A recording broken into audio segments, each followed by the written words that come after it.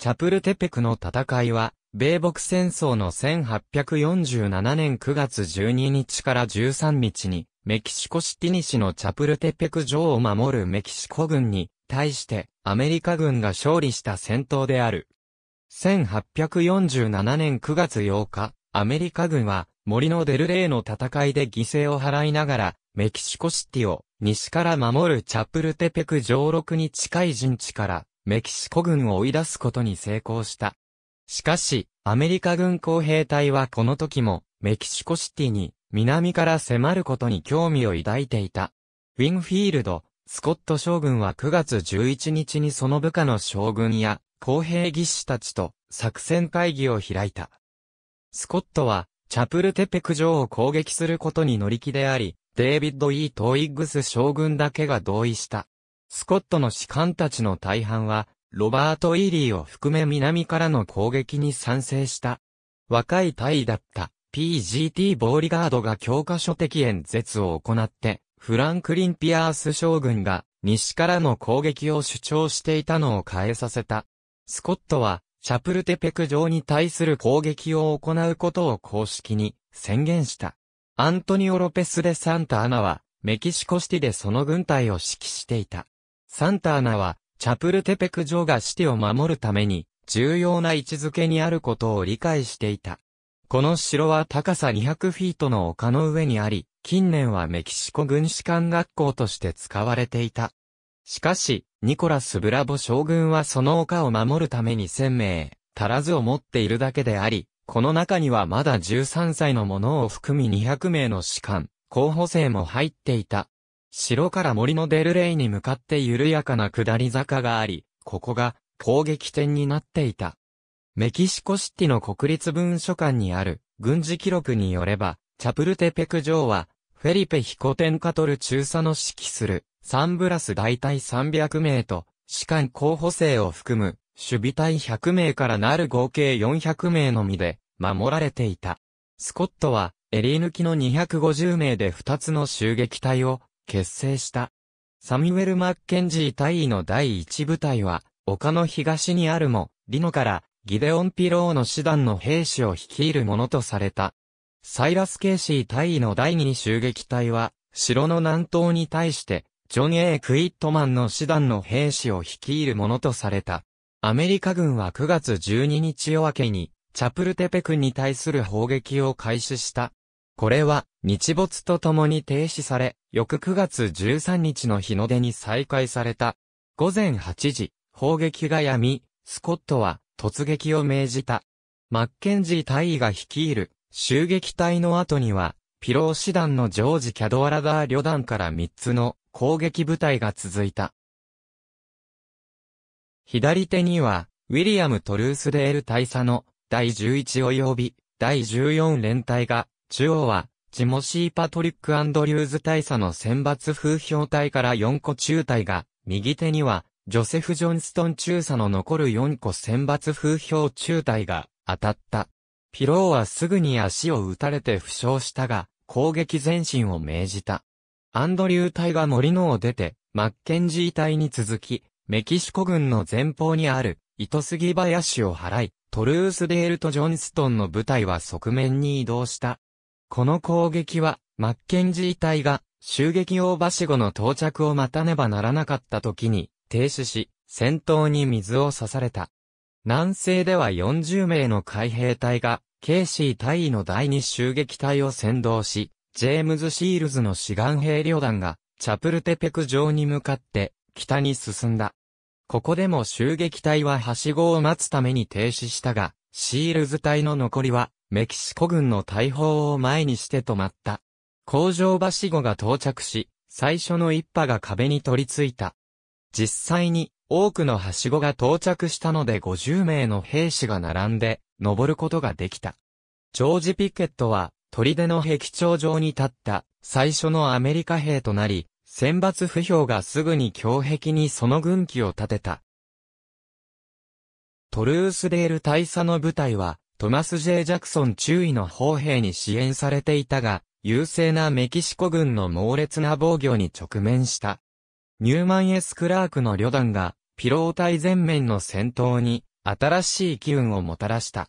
シールズ将軍はその部隊が壁に殺到した時に重傷を負ったが、その兵士たちは城の上にアメリカ国旗を立てることができた。メキシコ軍のブラボ将軍は二面からの攻撃を受けていたので、メキシコシティへの撤退を命令した。しかしブラボは撤退できる前に、シールズのニューヨーク志願兵連隊に捕捉された。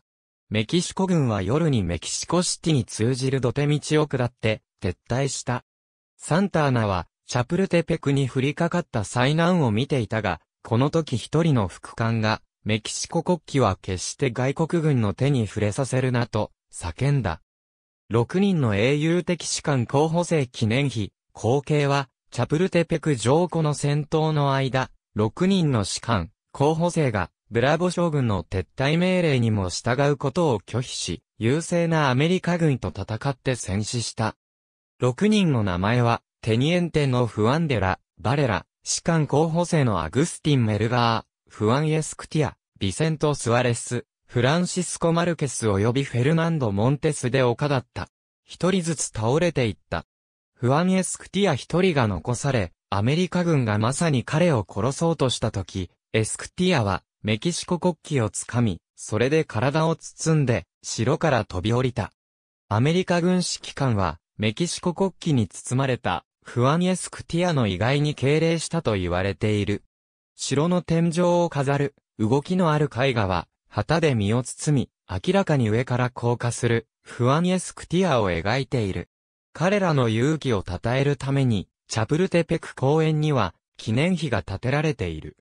この士官候補生たちは、ロスニーニョスエロエスすなわち、子供の英雄たちあるいは英雄的士官、候補生たちとしてメキシコ市で称えられている。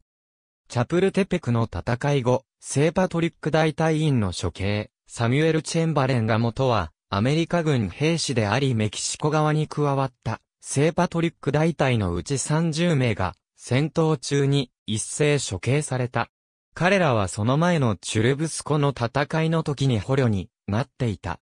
スコット将軍は彼らをチャプルテペク城が見えるところで処刑するよう指示し、その死の瞬間は、士官学校の上のメキシコの三色旗が、アメリカの旗に置き換えられる章にその時だった。スコット将軍は城に到着し、喝采を送る兵士たちにもみくちゃにされた。チャプルテペク城とそこの捕虜を守るために一個連隊を置いた。スコットは次にメキシコシティへの攻撃作戦を立てた。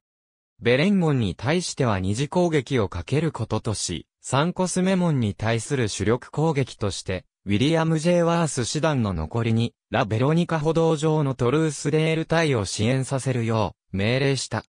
この門は、ランゲル将軍が守っていた第3系連隊の一部、及び第1系連隊、トルースデールは、ジョン・ガーランド、ニューマン・エス・クラーク及びジョージ・キャドワラダーの各旅団に支援され、歩道上を前進し始めた。一方、クイットマン将軍はすぐに、チャプルテペク上に部隊を集め、パーシフォー・エフ・スミスの旅団が東に回って、即座に、ベレン歩道に進行を始めた。クイットマンの攻撃は、陽動攻撃のみを意図されていたが、市内に向けて、チャプルテペクから撤退しつつあった、守備隊を追撃した時に、攻撃の中心に変わった。その部隊は、門の前で砲台に支援された強力な抵抗にあった。クイットマン隊は、歩道の中央に走る水道の石造りアーチ橋を使って這い進んだ。メキシコ軍、アンドレス・テレスの部隊が脱走を始め、要塞の方向に逃げた。クイットマンは、騎馬ライフル隊の先導で午後1時20分に、ベレン門を突破した。スコット将軍は後に、勇敢なライフル隊、あなたたちは重火を潜り、鋼になったと言った。北方では、ロバート・イーリーが、ラ・ベロニカ歩道を下るワースの攻撃隊を率いた。ワース隊が、ラ・ベロニカとサンコスメ歩道の交差点に到達したのは午後4時であり、そこで1500名の騎兵隊による反撃を駆逐し、その後に東に転じて、サンコスメ歩道を下った。進展はゆるりとしたものであり、損失が増えていった。ガーランド大佐とクラーク大佐は、道の側の建物に敵軍が詰まっているのを見つけて、第1及び、第2旅団を送り、バールやツルハシで、建物の両面に穴を開けることで、援護射撃のもと、守備隊に接近させた。ユリシーズ・グラント中尉が、歩道の南にある、サンコスメ教会の城を発見し、そこに、榴弾砲を上げて、その高い位置から守備隊への砲撃を始めた。道の北側では、海軍士官、ラファエル・セムズが、グラントのうまくいったやり方を真似た。続いて、ジョージ・テレット中尉が一軍の海兵隊を率いて、メキシコ軍守備隊の背後に回って、屋根に登り、砲手たちに殺人的な一斉射撃を放った。午後6時までに、ワース隊が門を突破し、守備隊はチリジリになった。多くのメキシコ兵がシウダデラまで撤退し、サンタアナも彼らに従った。夜が訪れると、ワースは、市内の王宮近くにあった五門の迫撃砲を奪った。チャプルテペク士官学校、ナサニエル・カリアーによる版画に、彩色、1847年頃、国旗系用台には、アメリカ国旗が上がっている。この戦闘は、アメリカ軍にとって意義ある勝利になった。戦闘はその日の大半で続き、激戦で損失も多かった。トーイグス、ピロー及びシールズ各将軍が負傷し、トルースレール大佐も負傷した。ベレンモンを攻撃したクイットマンの部隊で損失が最も多かった。クイットマンの参謀すべてが歩道での接近戦で、その命を失った。サンターナの側では、ブラボ将軍が捕虜に取られ、フワイエヌ・ペレス将軍が戦死した。サンターナは怒りに駆られ、ベレンモンを落とされたことで、テレス将軍を平手打ちし、指揮官から解任した。サンターナの回想録では、テレスを裏切り者としており、メキシコシティ敗北のスケープゴートにした。この戦闘とその後のメキシコシティ占領における海兵隊の功績は、海兵隊参加の初めの歌詞に記念されている。モンテズマの間から、という歌詞は、モンテズマのホールズとも呼ばれた、チャプルテペク城のことを歌っている。また海兵隊はその部隊が最も多くの損失を出したために、その青い制服のズボンに赤い血の島を入れることでこの戦闘を記憶すること、ともしている。ありがとうございます。